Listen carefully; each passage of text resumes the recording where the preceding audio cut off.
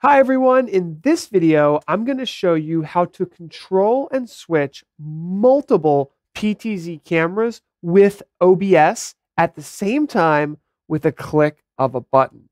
This is something that is really cool and I can't wait to show you guys.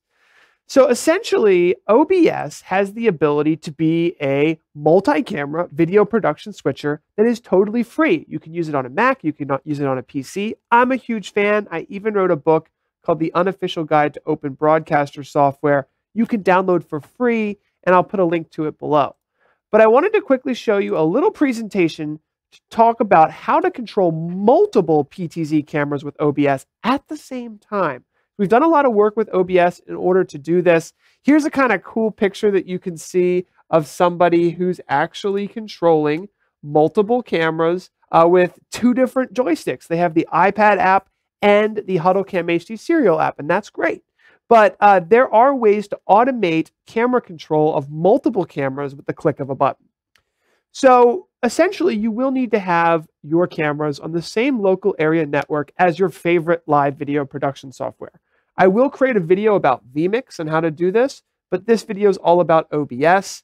Of course, you can have an IP joystick or an iPad. Those are still great for manual control, but when you're issuing presets, just in the between like scene changes, it's a great idea to use automation to make your life easier. So when you're changing scenes between a band and a crowd or uh, a play that is in one place or another or at a church when there's a presentation and then you're switching to a band or a baptismal area, one click you can move multiple PTZ cameras. And that's the awesome part of what we're talking about. So manual control is still great. You're still going to want manual control for a lot of different reasons. And I want to mention that you can put manual control directly into OBS using our dockable plugins. So uh, we're going to be talking a lot more about customizing OBS for your experience. And you can put multiple controllers like this into your OBS. You can put two or three of them in there if you'd like. And I'll briefly touch on that. We've got a couple different sizes. We have a small joystick controller and a wide, uh, medium-sized joystick controller, uh, a large controller, and it's up to you whether you'd like to just have some pan tilt zoom controls, some preset controls. You can change the uh, images inside of these. They're totally open source. Or you can decide to use the OBS plugin, which is available for OBS for PTZ Optics cameras as well. And that has the ability to add hotkeys to OBS, but also um, live, you know, preview, Xbox camera control, and a lot of other stuff. But if you do not have your IP address of your camera set up, watch the camera setup video guide first and look read through the documentation because you will need IP camera control to do any of this. You're going to need a PTZ optics camera, you're going to need OBS, and you're going to need a network. Now, uh, you'll find that you can use our camera upgrade tool, the IP address settings tool, to search for all the cameras on your network. And if you're using the dockable PTZ Optics camera controls for OBS, it's totally open source. You can download it here. And for the second, third, and fourth cameras that you might want to control, you need to create separate HTML files for those. And they're in the dockable plugin. So there's a video about that. Today, we're going to be using HTTP commands with OBS browser sources. So you can see here, and I'm going to open it up and zoom into it so you can really see what I'm talking about here. Essentially, a browser source in OBS is the ability to enter an HTTP command for PTZ Optics cameras, and we're going to tell it to call a camera preset. The important part here is to make sure you have refresh browser when scene becomes active checked. So every time you switch to that scene, it calls that browser. So let's take a look at this really quickly as we just switch between one camera. We've got two different browser sources for two different PTZ preset calls. Now, I've shown this before in other videos. Today, we're going to take it a step further and we're going to be looking at how to do this with multiple cameras to do really cool scene changes. Now, essentially, what you're going to want to do, and I just noticed I got to really quickly uh, go down to this slide. This the slide I want to go to here, not this one. Um, is you're going to want to understand the HTTP commands, which you can find at ptzoptics.com slash downloads and download the HTTP commands. But essentially, the probably the only one you need to know is how to recall a preset. And so really quickly, the way that I'm setting this up is I've got four cameras and I'm, I have two scenes. One is a music scene. We're just pretending that there's a band in here. And then we have scene two where we're assuming there's a presentation going on. Now I have the IP address of each camera listed. I have my computer as well, just because.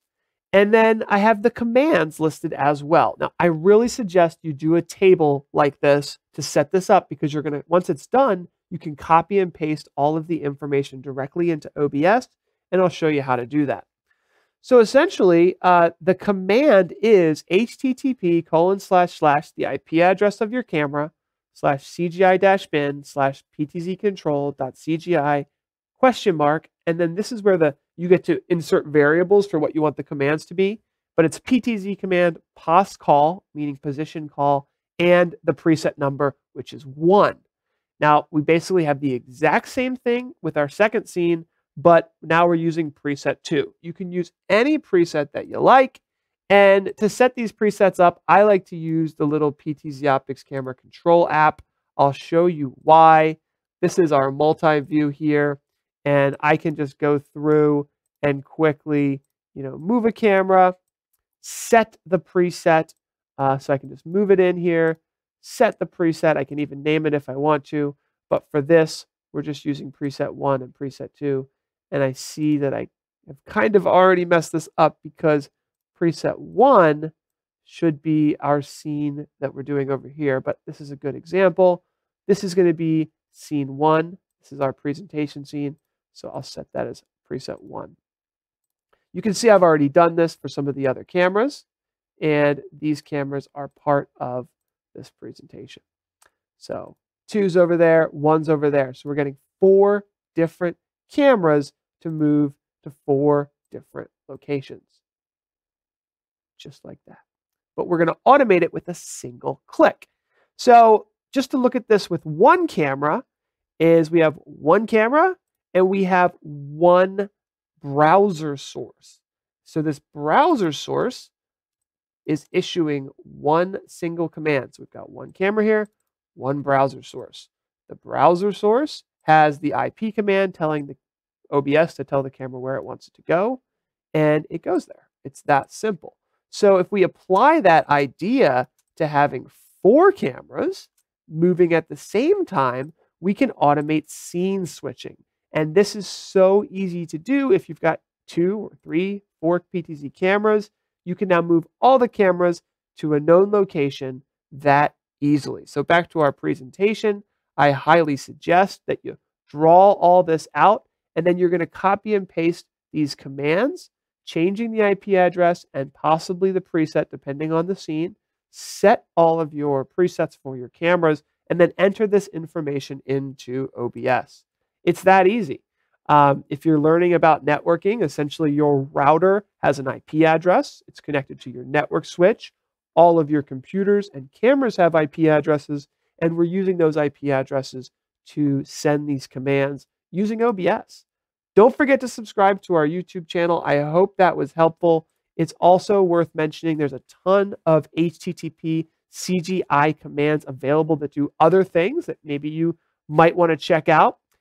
If you'd like to set your camera very simply with a DHCP address, meaning automatically send the camera a um, IP address from your router. If your router is DHCP capable, you can hit pound star four and the camera will reboot and accept an IP address from your router. Uh, to if you don't know what your IP address of your camera is, you can hit star pound four and show the camera's IP address on the video feed of your camera. So, quick little tip there. Um, you can learn more about IP networking for your cameras at ptzoptics.com/ip. You can learn more about computer programming for PTZ Optics cameras at ptzoptics.com/robotics. And remember, we've got a great support team who is here to help you all the time. Thanks for watching. Bye, guys.